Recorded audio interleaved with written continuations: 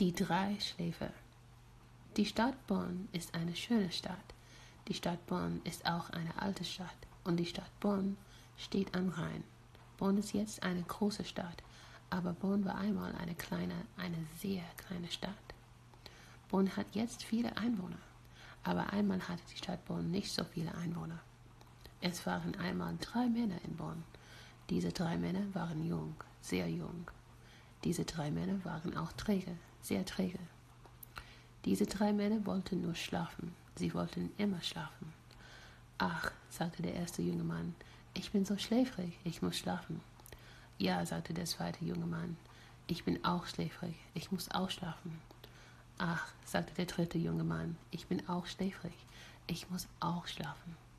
Dann sagte der erste, es ist traurig, sehr traurig, dass es nicht immer schlafen kann. Jawohl, sagte der zweite, es ist traurig, ich möchte auch immer schlafen und nie aufwachen. Und der dritte sagte auch, jawohl, ich möchte auch immer schlafen und nie aufwachen. Die Stadt Bonn war still, aber die Stadt war nicht still genug für die drei schläfrigen Männer. Der erste sagte, die Stadt ist nicht still genug, hier kann ich nicht schlafen. Ja, sagte der, der zweite, die Stadt ist nicht still genug, hier kann ich auch nicht genug schlafen. Und der dritte sagte auch, die Stadt ist nicht still genug, hier kann ich nicht genug schlafen. Dann sagte der Erste, mein Vater, meine Mutter, mein Bruder und meine Schwester wecken mich immer zu früh auf. Hier will ich nicht bleiben, ich will fortgehen. Mein Vater, meine Mutter, mein Bruder und meine Schwester wecken mich auch zu früh auf, sagte der zweite junge Mann. Hier in Bonn will ich auch nicht bleiben, ich will fortgehen. Und der dritte junge Mann sagte auch, meine Eltern und meine Geschwister wecken mich auch zu früh auf. Hier in Bonn will ich nicht bleiben. Ich will auch fortgehen. Wohin wollen wir gehen? fragte der erste junge Mann.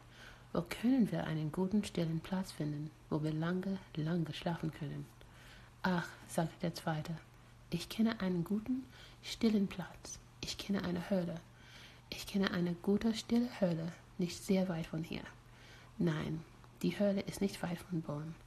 Aber da können wir ruhig, so ruhig sein. Das ist gut, sagte der Dritte. Das ist sehr gut. Wir wollen in diese Höhle gehen, denn unsere Familien wecken uns zu früh auf und wir möchten einmal ruhig sein und schlafen, solange wir wollen. Die drei jungen Männer gingen aus der Stadt. Sie kamen in der Höhle. Die Höhle war groß und so still, dass die drei Männer froh, sehr froh waren. Ach, sagte der Erste, hier ist ein guter, stiller Platz. Hier können wir ruhen. Hier können wir ruhig schlafen, solange wir wollen. Ja, sagte der Zweite, ich bin froh, dass wir diesen Platz gefunden haben. Hier ist alles so still. Hier können wir drei ruhig schlafen. Hier wecken uns unsere Eltern und Geschwister nicht auf. Ja, sagte der Dritte, hier ist ein schön still. Ist es schon still. Hier können wir lange, lange schlafen. Hier kommen keine bösen Geschwister, um uns aus dem Schlafe zu wecken.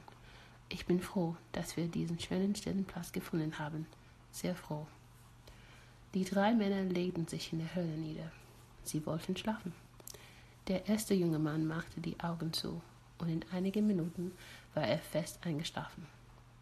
Der zweite junge Mann legte sich auch nieder, machte die Augen zu, und in einigen Minuten war er auch fest eingeschlafen.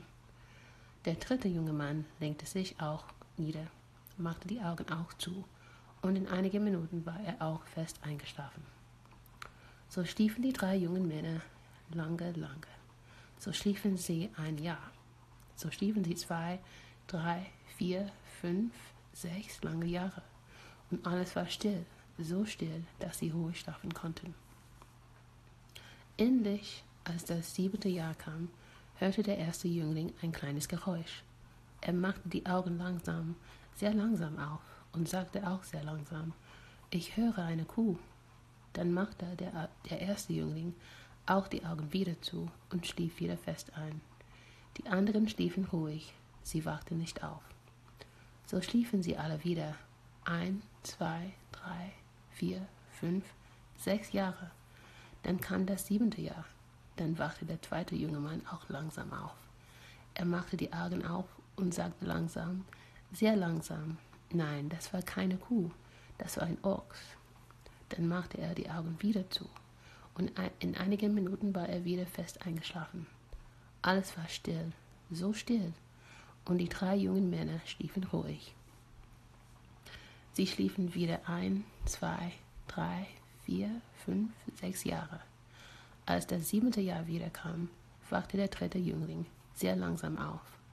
Er machte die Augen langsam auf und sagte sehr langsam, welche Kuh, welche Ochs? Das war alles.